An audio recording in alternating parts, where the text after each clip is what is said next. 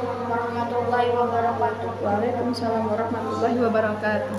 Alhamdulillah nasta'inuhu wa nastaghfiruhu wa na'udzu billahi min shururi anfusina wa min sayyiati a'malina. May yahdihillahu fala mudilla lahu wa may yudlil Asyhadu an la ilaha illallah wa asyhadu anna Muhammadan abduhu wa Suaranya yang keras ya. Allahumma salli wa sallim ala sayyidina Muhammad sallallahu alaihi wasallam. أولا هيا نشكر الله الذي قد أعطانا أما بصيرة وهداية حتى نستطيع أن نجتمع في هذا الفرصات المبارك إن شاء الله. ثانيا الصلاة والسلام دائمين على حبيبنا وحبيبنا محمد محمد صلى الله عليه وسلم وعلى آله وأصحابه أجمعين. ثالثا كنتم بين يديكم بأفضل اللغات العربية بالموت التوحيد والإسلام.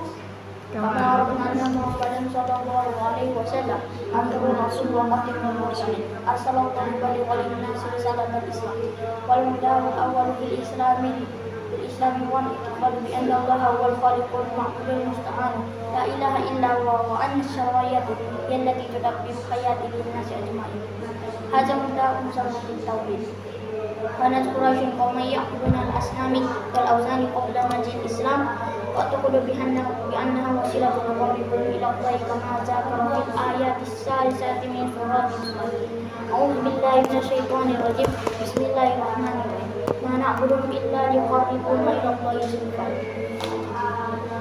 هذا الاعتقاد اعتقاد باطل لا محل له في الإسلام لأن الإسلام يعلمون التوحيد أن توحيد الله دون أن نشرك به شيئا ومن يشرك بالله فلن يغفر الله أبدا وتوحيد الله معناه الاعتقاد بأن الله هو الخالق خالق السماوات والأرض وما بينهما وهو القدير على تنظيم المخلوقات بنزل الله إلى رسول صلى الله عليه وسلم إن التوحيد أساس الإسلام ولا قيمة لأهل الادعاء بأنهم مسلمون ومؤمنون بدونه لذلك وجب علينا تحقيق توحيد الله وتطبيقه في حياتنا اليومية لسانا وعملا يمكن كفاني كلام هذا وسائل ينفعنا واستغفركم إن وجدتم مني الأخطاء والغلطات لأن الإنسان مخلوق الخطأ والنسيان وأن الله لغفور رحيم وأشكركم على اهتمامكم